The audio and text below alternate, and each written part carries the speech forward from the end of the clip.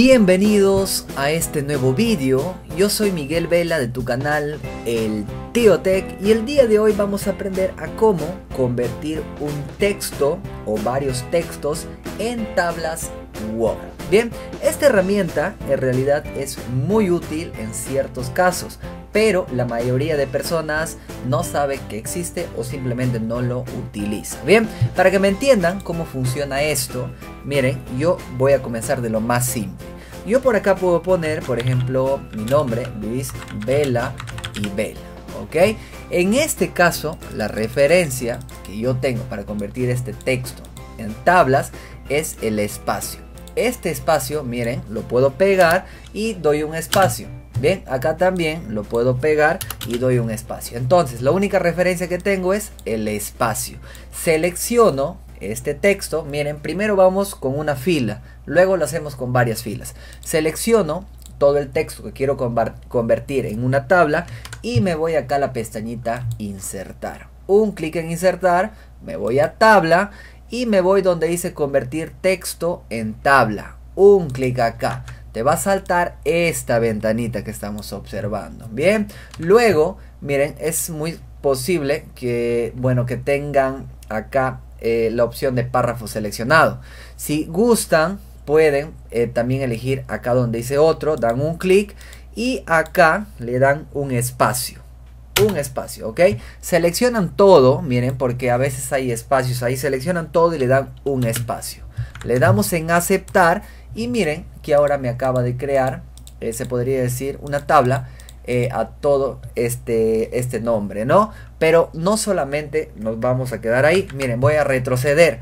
Ahora yo no quiero eh, ya construir mi tabla con, se podría decir, con espacios. de repente, y es lo más posible, que esté separado por coma.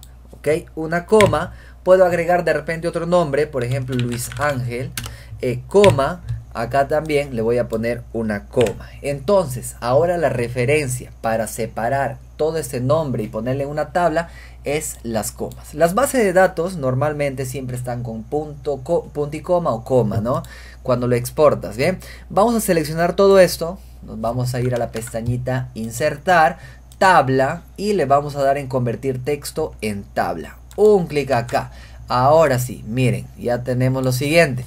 Vamos a dirigirnos nuevamente a otro y vamos a borrar ese espacio. Lo borramos, porque miren, ahí está el espacio. Lo borramos y ahora lo que queremos que nos separe es por la coma. Ponemos una coma, automáticamente acá te detecta, miren, número de columnas 4. Le doy en aceptar y tenemos, miren, ahora separado por comas, pero en 4 eh, columnas, ¿no? Voy a regresar, miren, voy a regresar y voy a hacer lo mismo. Selecciono todo esto, me voy a la pestañita insertar, me voy a tabla y me voy nuevamente a convertir texto en tabla. Un clic acá. Eh, miren, acá ya me aparece por defecto separado por coma. Bien, si yo quiero agregarle más columnas, no hay ningún problema. Yo le puedo poner 10 columnas y miren lo que va a pasar. Voy a dar en aceptar y las otras, miren 1, 2, 3, 4, las otras 6 columnas van a estar en vacío. Bien, solamente se va a rellenar hasta donde den eh, las comas, ¿no? Voy a regresar, control Z. Vamos ahora eh, con lo que más nos interesa. Yo, por ejemplo, podría poner ahí, acá, nombre, coma, apellido, coma, edad y vamos a poner sexo. Pongo un enter y abajo le puedo poner Luis, puedo poner Vela, puedo poner por acá 25, coma y puedo poner eh, sexo hombre. Bien, presiono enter y de esta manera puedo poner otro nombre, puedo poner Ángel, puedo poner eh, Sánchez, miren, todo está separado por comas. Voy a poner por acá coma, voy a poner 26, coma, hombre. Voy a poner María, por acá voy a poner Olortegui, eh, coma, vamos a poner 20, por acá vamos a poner mujer. Bien, vamos a seleccionar todo, miren, ahora son varias filas, pero fíjense que está separado por una coma, ¿ok? Está separado por una coma. El primero vendría a ser mi encabezado y el resto va a venir a ser mis datos. Selecciono todo, me voy a la pestaña insertar, tabla y ya sabemos convertir texto en tabla.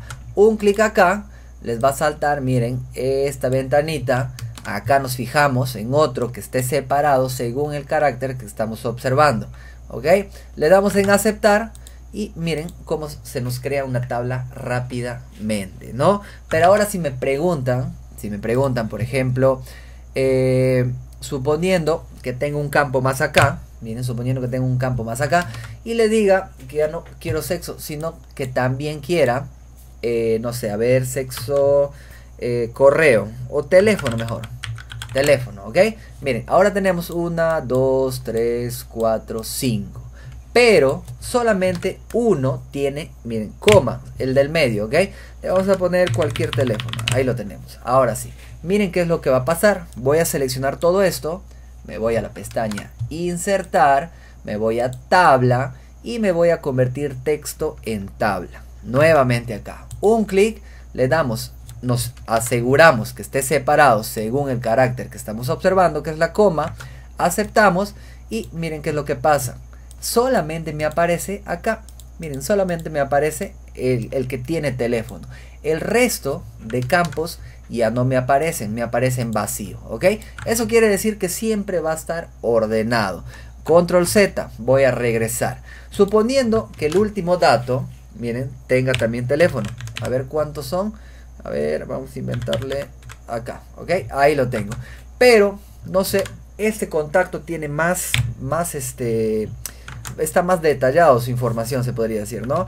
No solamente tiene teléfono, sino tiene, vamos a decirle, a ver, eh, correo. Eh, mi correo arroba gmail.com.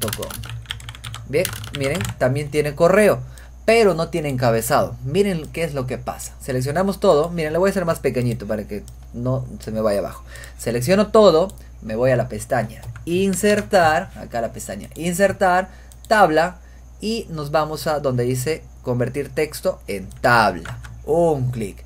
Nuevamente nos aseguramos que la comita, el separador esté ahí y le damos en aceptar y miren, miren qué es lo que pasa, ok, le voy a hacer más pequeñito, sí, porque no me alcanza la hoja y fíjense que no hay ningún problema. Como esta fila tiene más campos, más columnas, simplemente me crea una nueva columna y lo deja el resto en blanco. De esta manera se podría eh, decir que tus datos nunca van a estar desordenados, ¿no? Llegamos a la conclusión también, miren, llegamos a la conclusión también que, miren, que si, a ver, miren, que si una fila tiene, por ejemplo, más datos, tiene más datos, suponiendo acá vamos a poner 1, vamos a poner 2, entonces toda la tabla se va a crear con 1, 2, 3, 4, 5, 6, 7 y 8 columnas. O sea, va a agarrar a la fila con más datos y ese va a ser el número total de columnas que va a crear la tabla, ¿no?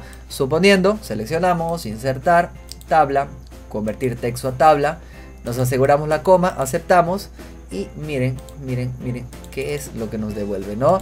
Se dan cuenta que esta fila ha tenido más datos, entonces nos va a devolver hasta el número máximo de columnas según la fila que tenga más datos, ¿no? Miren, y siempre va a quedar en vacío. Bien, eso sería todo. Si tienes alguna pregunta, alguna duda, puedes comentar este mismo vídeo para yo responderte. Conmigo será hasta acá, no te olvides de suscribirte al canal El Tío Tech y nos vemos hasta la próxima.